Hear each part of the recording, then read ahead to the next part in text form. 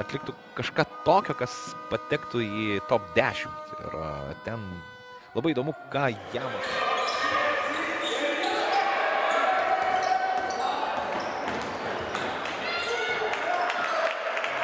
Senbet nacionalinės krepšinio lygos transliacijai.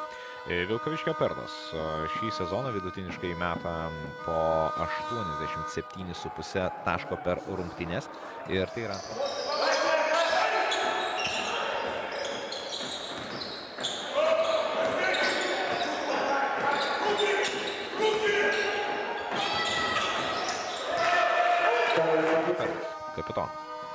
14 taškų, nemažai.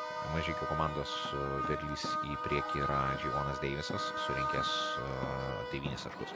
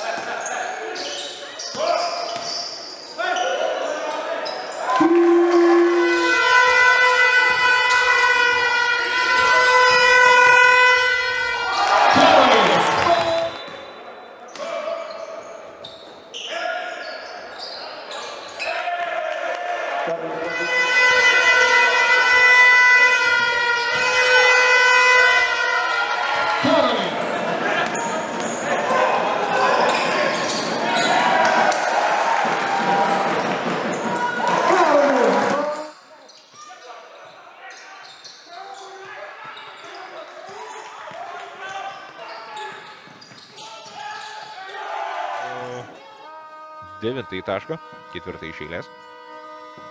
Ir taip didina savo komandos atotrukį iki trijų taškų, bet vėlgi tie trys taškai, ar jie dabar kažką lems, mat dabar ir sužinosim. Ne.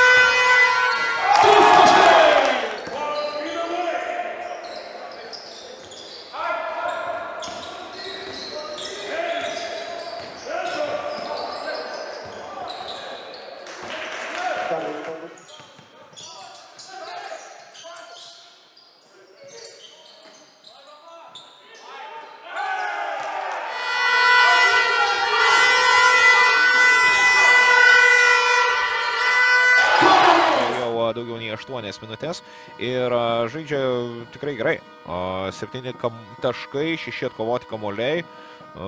Neblogas jo pasirodymas.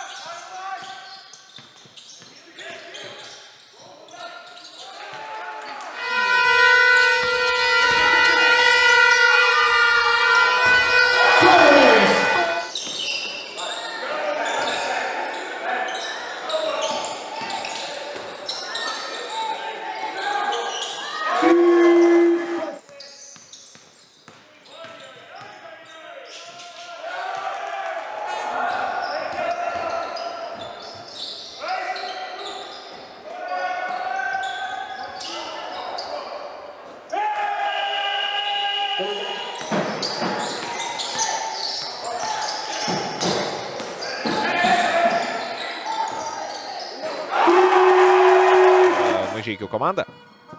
Septynis. Septynės antras progas savo susikūrė yra